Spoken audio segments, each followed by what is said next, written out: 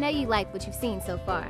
From engineering, to nursing, to business, to internships across the world, Southern University will help you reach your potential. My school offers a great education, encourages community service, and yes, it lets you have fun too. Call or visit our campus to discover all the great opportunities at Southern University.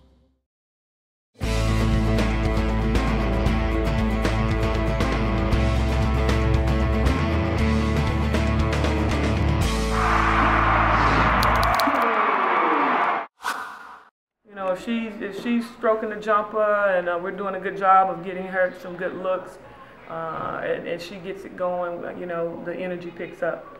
I thought defensively we were really sluggish tonight. You know, I don't know the reasoning for that, but you know, every game is critical at this point. You know, they got to step up.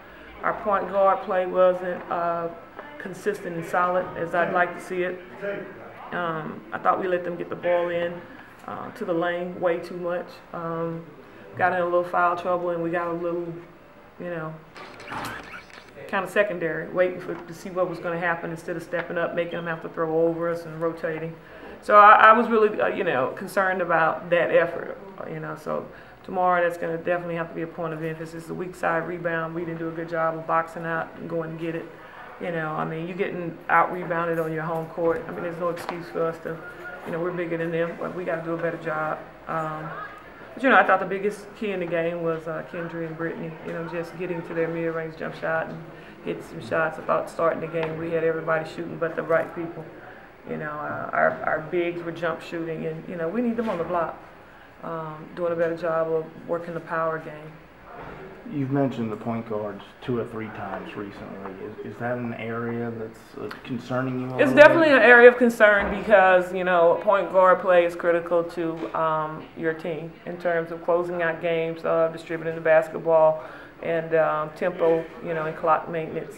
So, uh, you know, you, you, you want to go with, you know, Bonnie. She does a good job of pushing the basketball, but, you know, we can't continue to make mental errors down the stretch. Um, you know, I'm, I'm, I'm, I'm very simple as a coach in terms of, you know, when, when, if someone's hot, let's get them the basketball. You know, I thought too many trips we came down where Kendrick gone three for three, and you know, we had too many too many trips where she didn't touch the basketball, and that can't happen. Um, you know, Britt really did a good job of picking up the slack. That was one of the reasons why I went with Kendra at the point to ensure that her hands were on the basketball. So, you know, uh, we'll sit down as a team and look at it, talk about it, make sure everybody understands exactly, you know, what we're trying to get and uh, what we're looking for.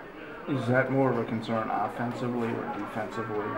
Well, you know, when you move Kendra to the point, um, you go with a bigger lineup. So you're always better defensively because you're you you you you're more athletic, you're bigger, um, and you know. So you know, instead of playing two little ones, you play one and then go with the bigs on the uh, the backside. So.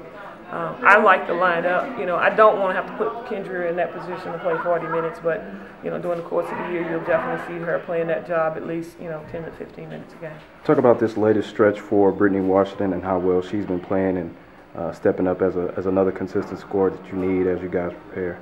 Brittany knows. Brittany understands her role. You know, I, I, I talked to her the other day, and we talked about her uh, productivity, and you know, I told her going down the back stretch, we really needed her to get 10 to 12 points a game for us, because that would take a lot of pressure off Kendra. You know, um, you know, I could play Kendra less minutes. You know, because this time of the year, it, you know, it's starting to wear. You know, the 20, 30, the 30 to 40 minutes a night wear on your legs, especially when you're playing Saturday, Monday.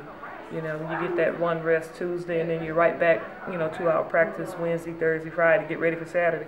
And you know, and there's a lot of pressure on her to uh, lead the team and, and, and, and score buckets.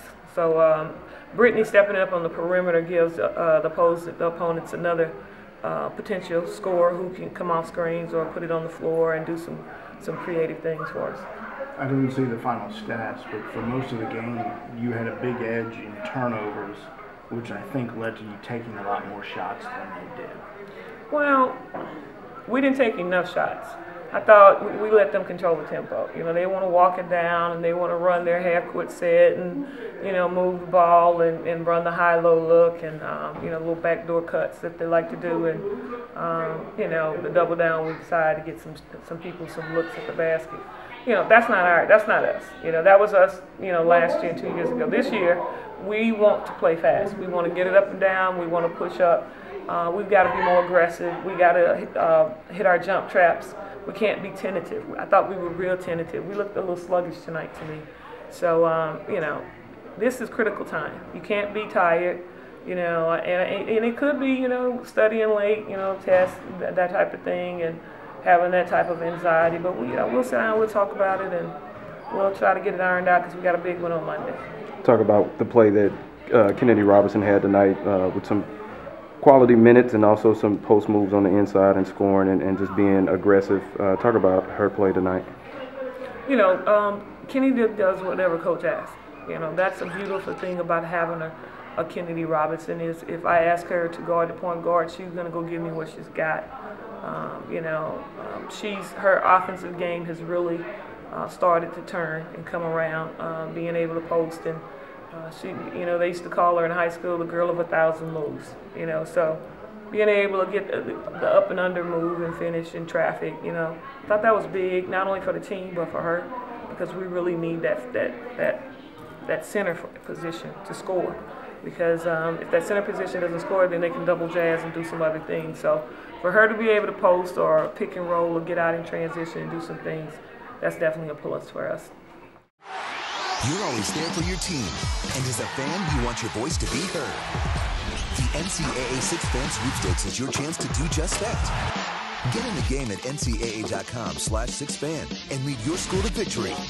Huddle up with fellow fans and spread the word because the fan base with the most votes will be crowned champion on Selection Sunday as the NCAA Sixth Fan. Go to ncaa.com slash sixfan and vote now because your team can't win without its sixth fan.